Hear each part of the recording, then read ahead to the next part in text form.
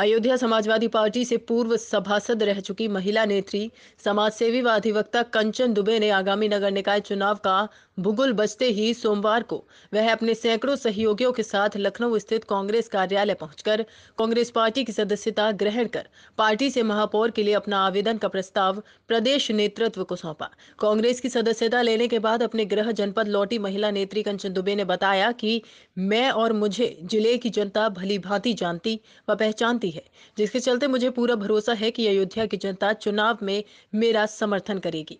बतौर अधिवक्ता कंचन दुबे ने कई गरीबों व मजलूमों की मदद को आगे आई हैं और एक बार हुई थी। उसके बाद कई राउंड चुनाव हुआ महिला सीट नहीं हुई।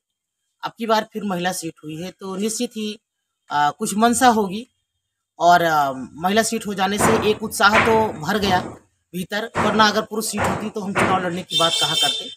लेकिन महिला सीट हो जाने के बाद मेरे भीतर एक उत्साह है कि मैं चुनाव लड़ूं मेयर का और हमारे नगर की सम्मानित जनता जो है वो हमारे साथ है। क्योंकि वो हम उनसे हमेशा कहीं भी किसी सड़क पे चौराहे पर या मैं कोर्ट में प्रैक्टिस करती हूँ वहाँ पर कहीं ना कहीं हमारी मुलाकात हो जाती है और आ, हमारे नगर के जो सम्मानित जनता है हमारे नगर के जो सम्मानित लोग हैं कहीं ना कहीं उनका जुड़ाव मुझसे है और मेरा जुड़ाव उनसे है।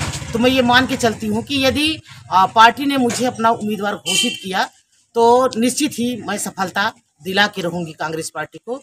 बस ये है कि अगर पार्टी मुझे अपना उम्मीदवार बनाती है तो। और नगर में जो भी समस्याएँ हैं, हमारे नगर वासियों की जो भी समस्याएँ हैं, उनको निरंतर दूर करने का प्रयास करूँगी। अब से पहले मैं पाँच साल सभासद भी रही। उस समय के कार्यकाल को मेरे यहाँ के लोग जानते हैं कि मैंने क्या कार्य किया, मैं अपने मुँह से सराहना नहीं कर सकती, लेकिन मैं प्रयास करूँगी कि ज़्यादा से ज़्यादा अच्छा काम करूँ अपने जनता के लिए।